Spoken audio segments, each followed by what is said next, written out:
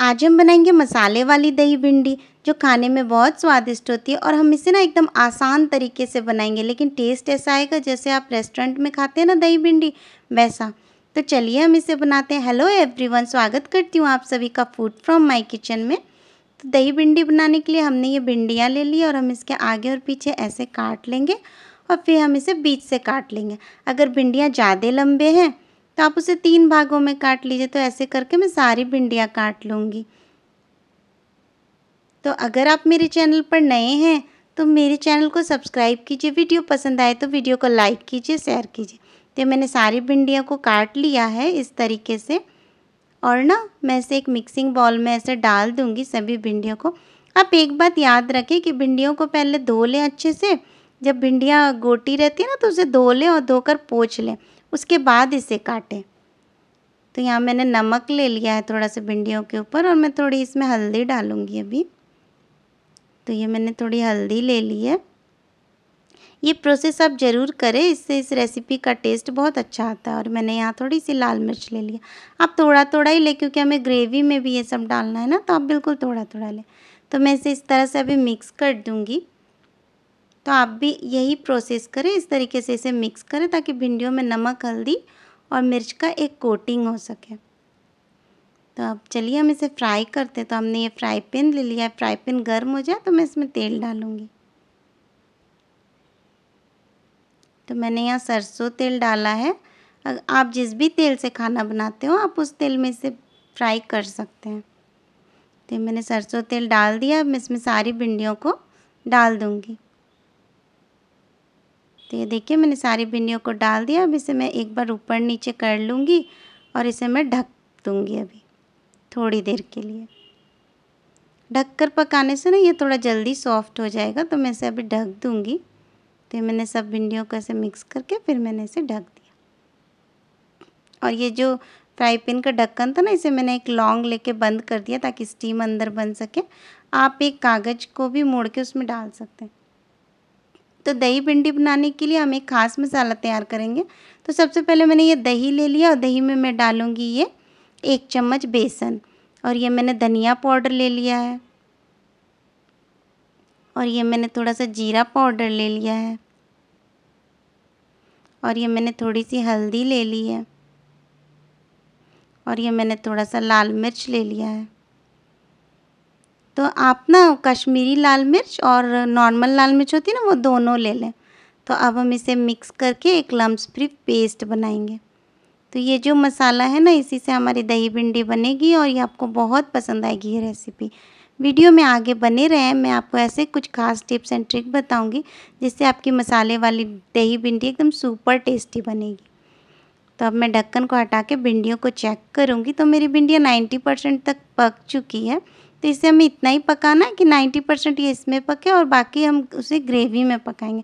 तो मैं इसे भिंडियों को एक बार चला लूँगी इस तरीके से। तो आप भी इसे इस तरीके से चला ले। देखिए, भिंडियों में एक भी लस लसापन नहीं है ना? तो इसे मैं इस तरीके से कर लूँगी और ये मेरा अच्छे से फ्राई हो गया। तो अब हम इसे साइड में रख देते हैं और चलते हैं इसकी ग्रेवी की तैयारी करने के लिए।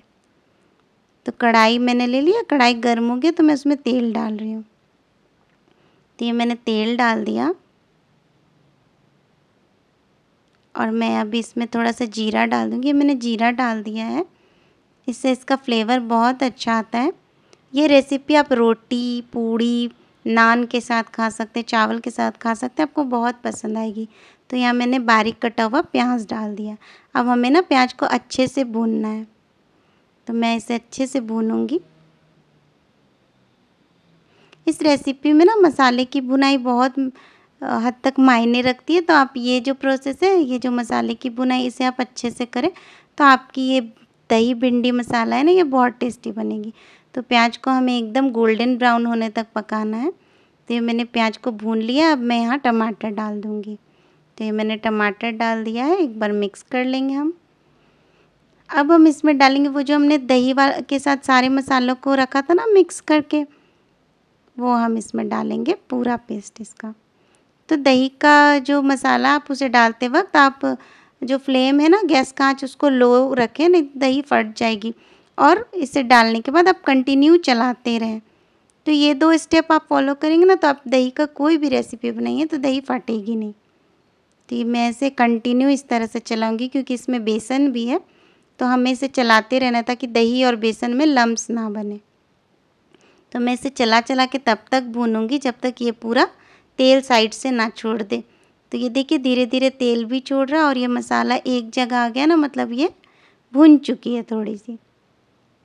तो देखिए ये भूनते भूनते ये तेल आ गया तो मैं इस टाइम पे इसमें डालूँगी अदरक का पेस्ट एक चम्मच और एक चम्मच लहसुन का पेस्ट ये मैंने छोटे चम्मच से थोड़े थोड़े डाले हैं। जो टीस्पून होती है ना उससे तो मैं इसे फिर थोड़ा भून लूँगी पाँच मिनट तक अच्छे से। तो ये मैं भून रही हूँ और मसाला मेरा भून चुका है, फिर से तेल वापस से किनारे किनारे से आ रहा है तो मैं अभी इसमें पानी डाल दूँगी। तो ये मैंने पानी डाल दिया इसमें। अभी हम इसे लगातार ना कंटिन्यू ऐसे हिला हिला के अच्छे से एक एकदम स्मूथ ग्रेवी बनाएँगे। तो ये मैंने ना कंटिन्यू इसको चला चला के स्मूथ ग्रेवी बना लिया और मैं इसमें हरी मिर्च मैंने डाला है और मैंने इसमें थोड़ा नमक डाला है। तो नमक आप स्वाद अनुसार डालें। आपको याद रखना कि आपने भिंडियों में भी नमक डाला था। तो मैं इसे अच्छे से मिक्स कर लूँगी। और इसमें उबाल आ गया तो मैं इसमें थोड़ी सी कसूरी मेथी डालूँगी इस तरीके से। तो कसूरी मेथी आप ज़रूर डालें, आपको बहुत पसंद आएगी। तो ये मैंने डाल दिया है, ये पूरा अच्छे से उबल रहा है तो मैंने चुटकी भर इसमें गरम मसाला डाल दिया। ये रेसिपी आप बनाएँ, आपको बिल्कुल रेस्टोरेंट जैसा टेस्ट आएगा। जिस विधि से मैं बता रही हूँ ना, एकदम रेस्टोरेंट जैसा टेस्ट आएगा। आप एक बार बनाकर ज़रूर ट्राई करें। तो ये मैं सबको एक बार मिक्स कर दूँगी। एक बार मैं अच्छे से मिक्स करने के बाद हम इसमें अपनी भिंडियाँ डालेंगे। तो ये देखिए, मेरे, मैंने जो फ्राई करके भिंडियाँ रखी थी ना, अब हम इसमें धीरे धीरे ऐसे डाल देंगे। और आप देखिए, भिंडियों में लस लसापन भी नहीं है, अच्छे से फ्राई भी हो गई है। और टूटी भी नहीं है हमारी भिंडी। तो अब मैं इस ग्रेवी के साथ भिंडियों को ऐसे मिक्स कर दूँगी।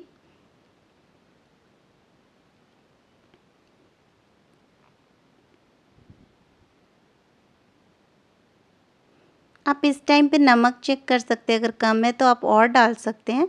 तो मैंने ना इसमें थोड़ा सा चीनी डाला है।